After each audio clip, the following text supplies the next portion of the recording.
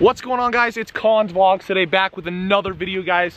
Today is the day we are going to be revealing the new car. Not running 100%, I can't really drive it too hard, but I did get it up here to Snow Basin so that I could film this, you guys. Um, I hope you guys enjoy it.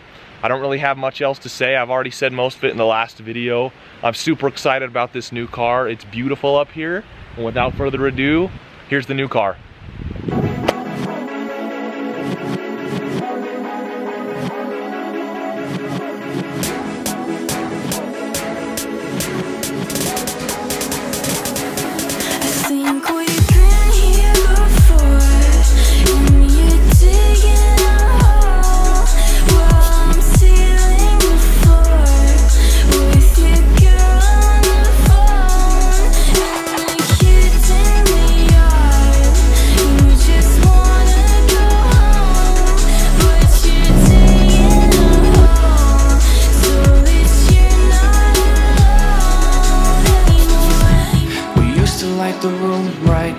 Now we barely see the colors on the walls.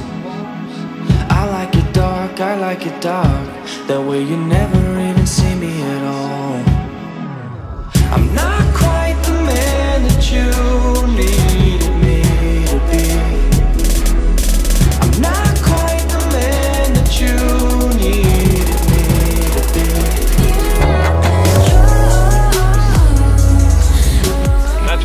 I got another Mazda Speed 3. So this one's a Gen 2, it's a 2010 Mazda Speed 3, has about 70,000 miles on it.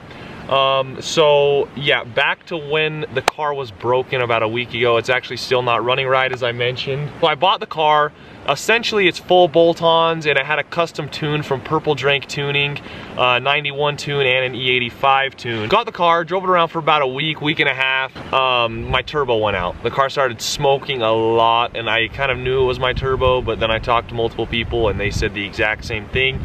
So yes, blew the turbo, the stock turbo, the KO4, the seals went out as they do at 70K.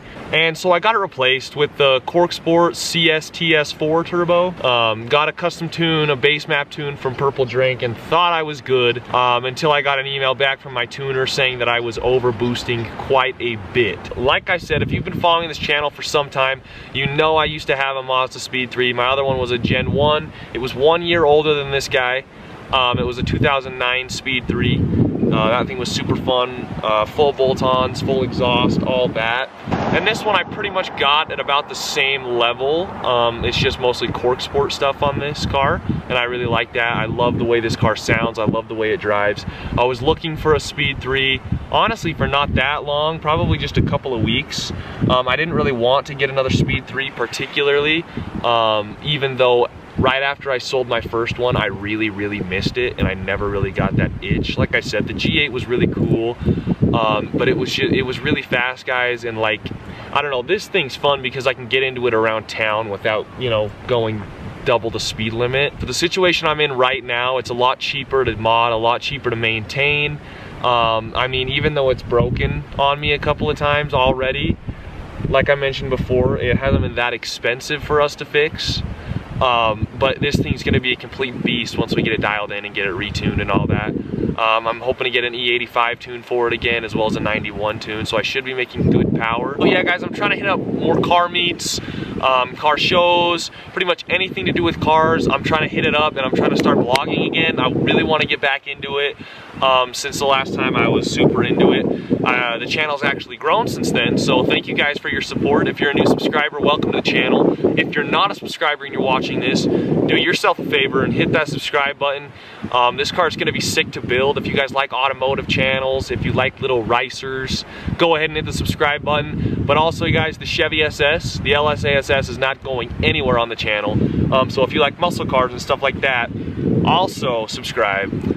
Not to mention, we're always supercar chasing. We've seen a couple of hypercars here in Utah as well. So essentially, guys, if you like anything to do with cars, hit the subscribe button right now because I'm gonna get this thing rolling. The channel's gonna be sick. I'm gonna start working on making it more professional, try out a whole bunch of different things with the vlogs, and of course, I'm gonna be building this guy right behind me. It's gonna be super sick, guys.